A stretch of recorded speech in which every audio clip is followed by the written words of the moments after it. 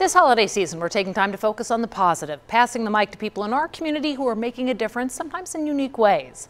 Tonight, we're profiling a University of Kansas Medical Center professor behind a popular swim program for kids with autism.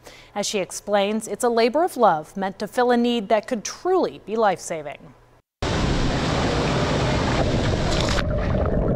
I find myself finding uh, the water really relaxing. You you can't hear anything except for your you know, arms moving through the water, the sound of the water in your ears.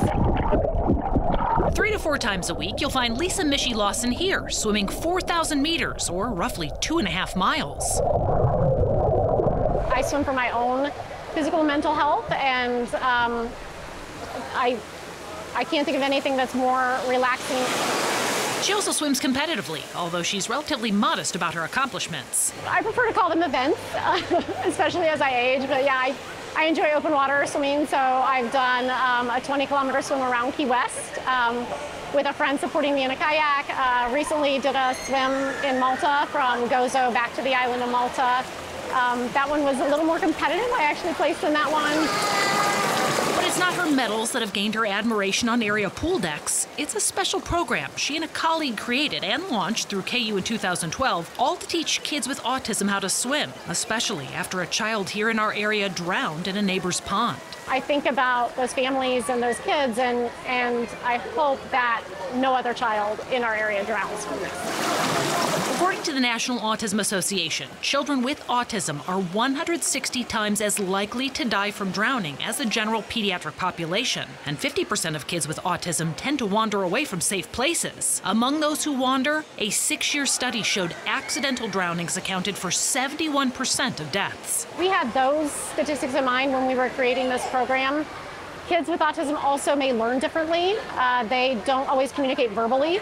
They often have trouble paying attention, especially when there's a lot of sensation going on in the environment. Have a fun time. So, the Sensory Enhanced Aquatics program has been adapted to their needs, proving to be a big hit with participants and their families, including five year old Jones Wilson. Oh my gosh, yes. He looks forward to swim lessons. We come every Monday night, so he loves that. He loves his teachers. Good job, Jonesy. And his mom, Jessica, says she loves the confidence this gives him, all while giving her more peace of mind when it comes to water safety. For that, she's especially thankful for Lisa's leadership in this program. That was amazing. You're welcome. I'm so grateful for people like her that see our family, that value our needs, that have changed changed so many lives. It's a really big deal.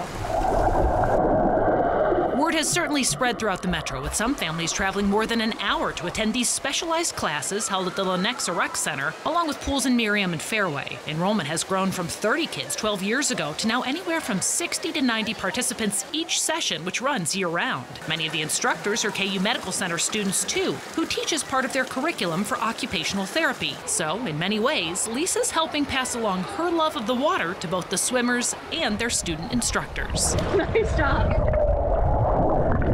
I love swimming, so I want everyone to love swimming and have an opportunity to love swimming. Uh, the students, working with the students definitely keeps me involved. Watching them light up for the first time when they figure out how to teach a kid with autism to swim, that keeps me very motivated. While we were there, those kids were having so much fun too. Because they use KU Med students, they're able to keep the cost down for that program. They also do a lot of fundraising to provide scholarships, so cost is never a barrier to families.